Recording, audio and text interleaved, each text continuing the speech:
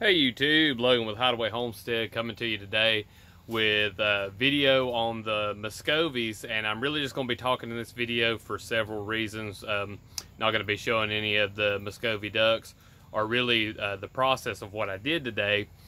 Um, I just ate, like literally maybe two, three minutes ago, just got done eating one of my Muscovy ducks. Uh, I think in the last video I mentioned that we had eight males and two females, and so had to get start. i am having to start get rid of some of these guys because it's not fair to the females and it's not fair to them to have them running around and beating up on each other. And um, as they uh, get closer to sexual maturity, the males harassing the females. Like we we don't want that. So I'm gonna have to really thin out the flock, and um, I'm trying to think really where to start here. Uh, ma mainly, I'll explain why it is that I didn't video the process of uh, killing the duck and uh, process it and everything, and then cooking it and all that stuff is because this was my first time ever doing a duck. I've processed a lot of different animals, uh, never done a duck. Had to get in there and uh, most animals are all this are close to the same. You know, they all have uh, bones, joints, uh, tendons, and muscle, and skin and fat. I mean, you know, they're they're all pretty straightforward, but um, just learning where those joints are and feeling of the animal and, and figuring everything out. It was a little bit of a slow process, so it wouldn't be like I was really teaching y'all anything on on how to do it. There is uh, some really good videos. Uh, if you don't know the far or the uh, YouTube channel, um, Farmstead uh, Meatsmith, uh, he has some videos on processing Muscovy ducks that are excellent. I mean, I could never do anything as good as he's got. Uh, guys really switched on to uh, how to process animals humanely, how to dispatch them, and, and, and get the most out of the animal. I am nowhere near the the um, uh, processor and butcher that he is, so um, you know, just doing it on the on the first time with the duck was, was not going to be anything I think that was really helpful to y'all. Uh, the other reason is is it being my first time, I really like for animals to uh, you know to end their life as fast as they can, or as fast as I can when um, I'm killing them. Uh, just because I don't want them to go through any pain or suffering, I like for all my animals to be happy and to uh, not cause them pain. So I didn't want to be trying to video it and worrying about that and uh, taking out the animal. So um, basically what I did was I grabbed up underneath his beak and slit his throat and then had him bleeding out and cracked his neck. And it went pretty good. I mean, I feel like I could have been a little bit faster at it. Um, and then, you know, he went into the death throes, had to hold him down and make sure that he uh, didn't flop all over the place. And uh, then I got into the processing, and uh, on Farmstead Meatsmith's channel, he shows he he he plucks the bird. He does everything. He uses every ounce of it. Um, another guy that I, I follow had uh, done his just basically by taking the breast out. He explains, you know, just take the breast out and take the legs off because that's where the majority of the meat is. And as I opened the animal up, I realized that was true. I really hated not use the skin but considering that I'm not uh, an expert at processing the ducks and I don't have a picker, um, I, I, I, need to get better at that as I go. But that being said, I did get, you know, I'd say 90% of the meat because it, they just have so much on their breasts and on their legs. Um, the cat, of course, got the rest of it, so it's not like it went to waste, and everything that we uh, don't use on it will go into compost or to feed worms or to feed a tree. But uh, to talk about the meat a little bit, I got I cut I, I cut the bird open, and I wish I would have took more pictures because I have more pictures to show y'all. Uh, the thumbnail will be the only thing that you'll have as far as the meat goes, just sit, sitting on a plate.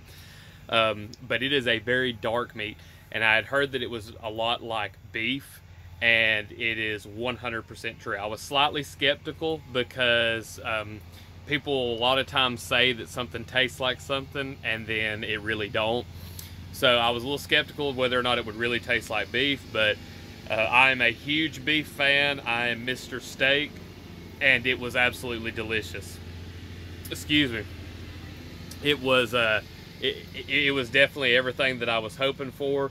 It tastes kind of like a mild beef.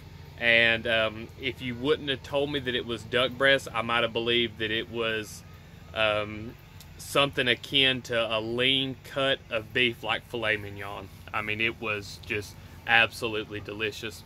Now, th this uh, Drake was kind of young, so he wasn't up to full size yet. And if you count just the leg quarters and the breast, I only got about close to two pounds of meat, which is not a lot.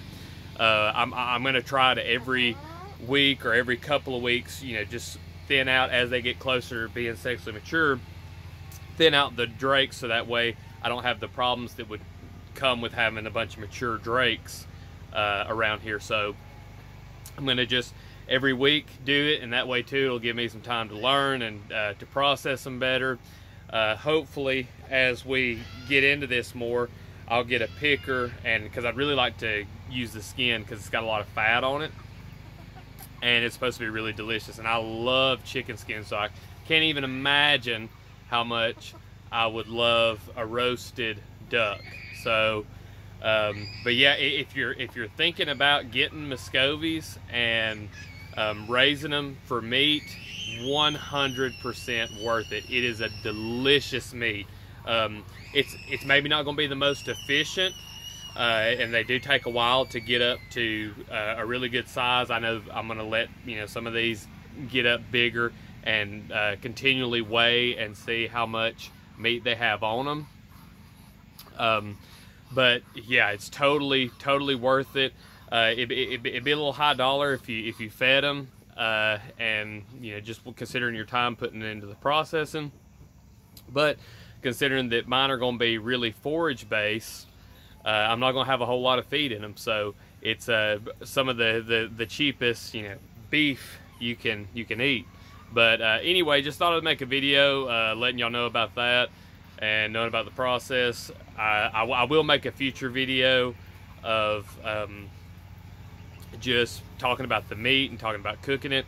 Uh, one thing to note, and you'll have probably seen it in the thumbnail, that uh, the, the, the meat's kind of on like the medium rare side you don't have to worry uh, about cooking temperatures as much with Muscovy as you do with like you know chicken. And I don't know about like your um, mallard breed ducks. I don't know if they're necessarily something you have to worry about um, getting them cooked well done.